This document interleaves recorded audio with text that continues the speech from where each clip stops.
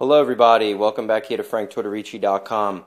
Uh, today, I'm going to touch on uh, raw kefir. Uh, raw kefir has been around for God since the late 1800s. Originated in Russia, and basically, kefir is a probiotic drink. You can find it at a lot of health food stores. Um, but here's the deal: there's there's tons of kefir products that you can find at Whole Foods and different types of stores.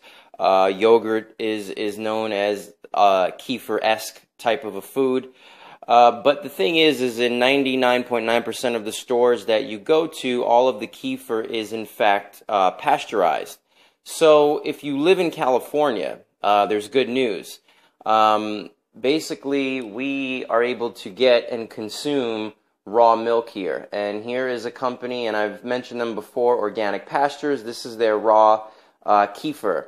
Now, if you don't live in California, you have you do have options. Um, you could probably find raw coconut kefir at health food stores, and if you can't find that, the easiest thing to do is to just uh, purchase uh, a probiotic starter kit. You can get the powder. It's in it's in a packet form, and you can just get your coconut water, or if you're able to access raw milk, uh, then dump it in there, leave it covered, let it sit for a couple of days, and the fermentation process uh, takes its effect.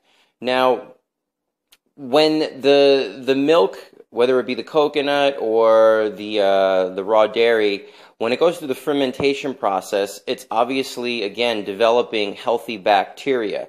Um, now, the beauty of it is, is when a lot of theories is that when you're consuming, say, raw milk, uh, you can be exposed to a lot of uh, unhealthy bacteria as well as healthy bacteria. But the beauty of the kefir is that because you're, um, what's the word I'm looking for? Because you're increasing the bacteria in it by through the probiotics, you are now balancing out the good and the bad at a more, um, it's, it's more safe that way to consume, say, a raw milk when it's in a kefir rather than just purchasing raw milk, although I'm a big advocate of raw milk as well if it works for you.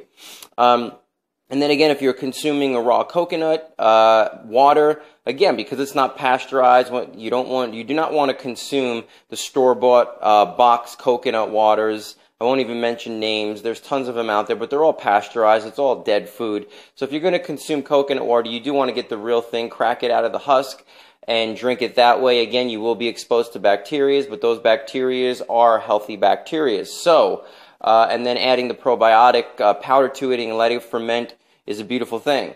Now, why one would want to consume kefir is basically to repair the gut. We all have imbalances in our gut, and by consuming kefir on a daily basis, you are going to help the uh, the buildup of the ecosystem in the gut so you will now get a balance between good and bad uh, bacteria. But if you're consuming products that are healthy bacteria products like a kefir, but yet you're still consuming a lot of sugar and a lot of starches, well then you're just going to add in the mix and the, you're really in, not in control of the growth of good to bad bacteria. But if you're on a clean diet and you're not ingesting processed sugars and really close to no grains and you're, and you're ingesting kefir, well then it's going to actually help the buildup of the healthy bacteria. And that's what we want.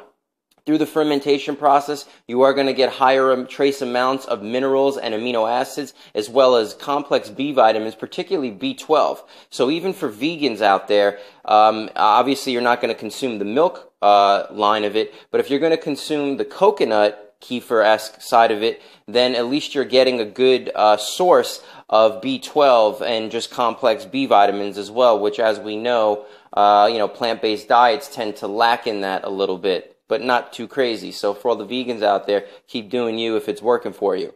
So that's pretty much it. Um, again, if you're looking to repair your gut and uh, instill vitality in your gut, then incorporating kefir is a great way. Like I myself love kefir because I've always loved yogurt as, as a kid growing up. And I would never touch store bought yogurt with a 10 foot pole because it's crap. There's no sugar added to it. And all of it is pasteurized. Even if it's plain, it's all pasteurized. So when it's exposed to that heat, again, as we know, that heat works as chemotherapy. It kills the bad, but it also kills the good. So there's really nothing beneficial from store-bought yogurt except for the probiotic powder that they add to it. But why not get the real thing?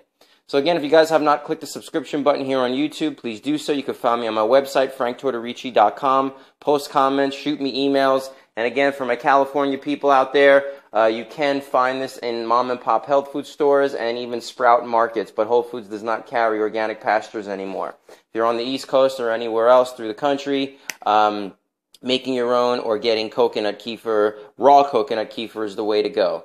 Thanks for your time. Peace and love.